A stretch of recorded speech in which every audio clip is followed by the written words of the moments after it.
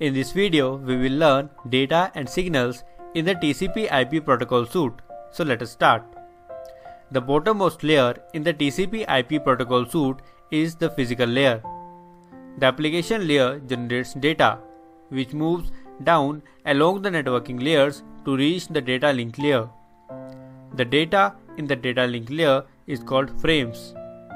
It is a final form of data which is transmitted in the network. However, it is a sequence of zeros and ones, so it needs to be converted to a form that can travel along the transmission medium. The transmission medium can be networking cables in case of wired communication or free space in wireless communication. The stream of zeros and ones is called data. It should be converted into signals to transmit it along the networking cables or free space. The physical layer converts data into signals. Both data and signals can be either analog or digital.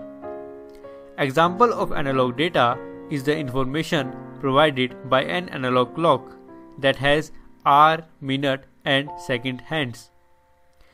As time moves from 1010 to 1011, the clock hands show a continuous movement. That is, there is no sudden jump from 1010 to 1011. Such information, which is continuous, is called analog data. On the other hand, the information that has discrete states is called digital data. For example, the information provided by a digital clock where the time changes suddenly from 1010 to 1011. The sound made by a human voice is an another example of analog data. When someone speaks, an analog wave is created in the air.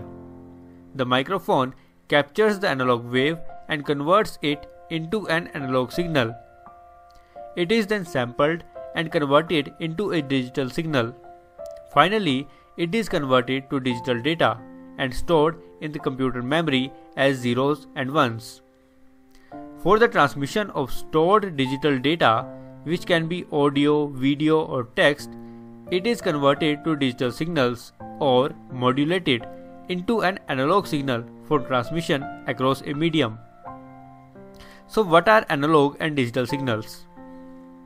An analog signal has an infinite number of values along its path as it moves from value A to value B.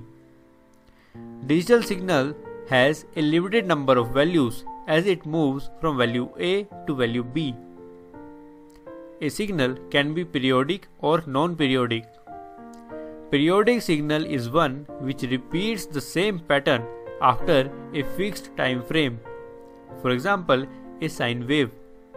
On the other hand, a non-periodic signal does not repeat over time. In data communication, we commonly use a periodic analog signal because they need less bandwidth and non-periodic digital signal to represent variation in data. So in this video, we learned that the data can be analog or digital. Analog data is processed and stored in memory as digital data. The data link layer receives digital data like audio, video, text in the form of zeros and ones, and the physical layer converts it into signals for transmission across the transmission medium. If you have learned something from this video, then please like this video, share this video so that more people can learn.